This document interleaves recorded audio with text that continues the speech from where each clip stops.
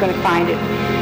And I'll never forget the night before my operation, I got on my knees and I prayed to God as I have never prayed. And suddenly I realized that I had no right, you see, to ask for my life because so many wonderful people have died, all the soldiers and the wonderful people ahead of me. But I heard God speak to me, Ralph, more than I hear you now. And I know people may think it's mesmerism and it isn't true. But he said to me, don't look to the heavens because I am not there.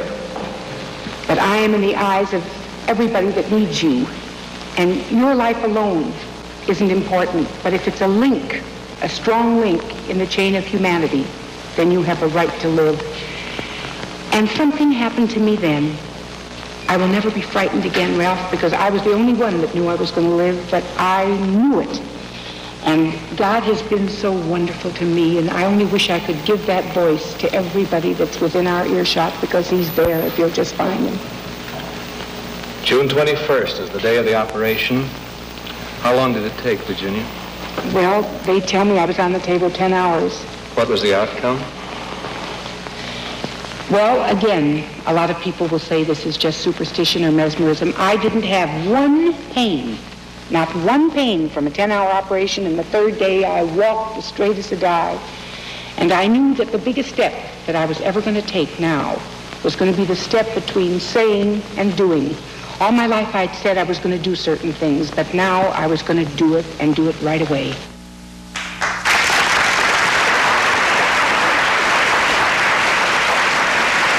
You, you think that doesn't hold up?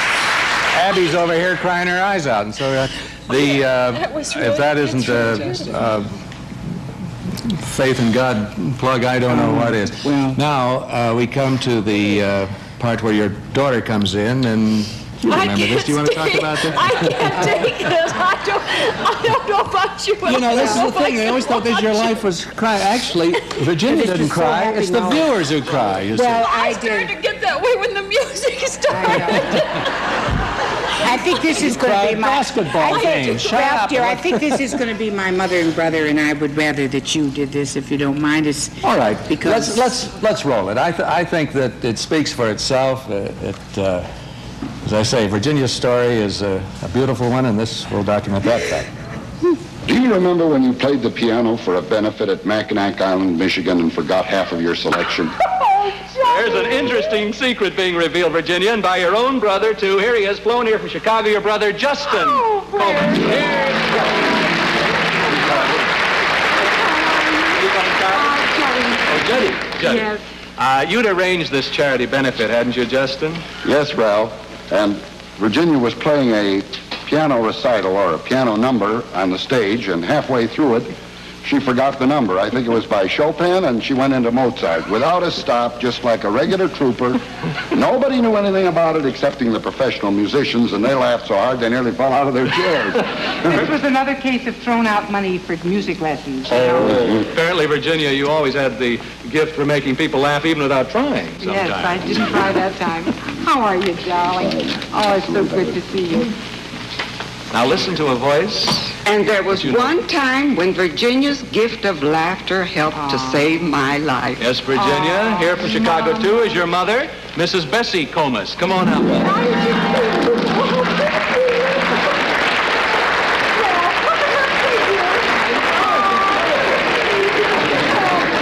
Oh, you look wonderful. What did you say, Jenny? Look at her figure and look at me. You're sure you're our mother? Mrs. Komiss, this, this dramatic occurrence took place when Virginia was only nine, uh, didn't it? That's right, Mr. Edwards. I was sick, and I thought I was quite sick when I was in the hospital and unhappy.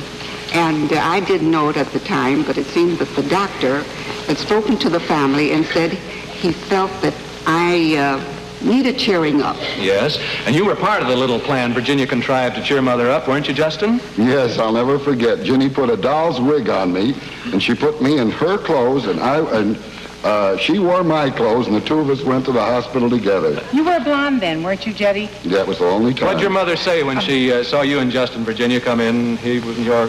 She realized she was sicker, I think, than she thought. But let me tell you something, Ralph. You know, I saw how well Juddie looked as a blonde. Would you believe it? We used to look like twins, but then he got older than me. and uh, I realized how good he looked as a blonde, and I decided to become one. what happened to you? Well, believe it or not, that little prank of Virginia's really gave you the lift you needed, didn't it, Mrs. Coleman? Well, I felt so good after that, I decided I'd like to get dressed and go home with the children. The pattern of helping others through your own zest for life is set in your childhood, Virginia. Thank you, Mrs. Komiss and Brother Justin.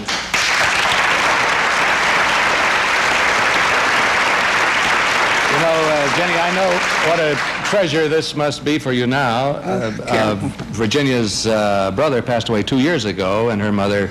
Two weeks uh, ago. two weeks ago. But uh, this will be a great treasure Yes, it, uh, it, it was a moment of great pride for all of us because uh, there is a continuity of life, and I, I never will stop thinking of them, and that's the way it is. We should have taped this. I could use it as the first show, you know, in Yeah. January when we start again. Know, I tell you, family love is such an important thing, and I feel so sorry for anybody that doesn't have You're it. right. You're right. Of course, I think the youngsters of today really, really do have that, you know? They are talking about the kids and all, all this and that, but if Well, they like to do. talk about their past, they like to talk about, Oh, uh, yes. tell me about, tell me about grandpa. My kids are saying that, well, they're 28 now and 29, you know, or 27. This, uh, by the way, this is the bracelet that I got that I made into a necklace. It's like All instant of these Tiffany. it sure is. Or instant Marshall. All of the, and you know how wonderful my Harry was. Ralph was always so generous, and a lot of people wanted personal things to remember. And uh, Ralph said, "What would you like us to give?" And Harry had a, a full Muzak equipped in a hospital for cerebral palsy children, and he sent 500 children to underprivileged children to camp. and this was Ralph Edwards and my Harry. The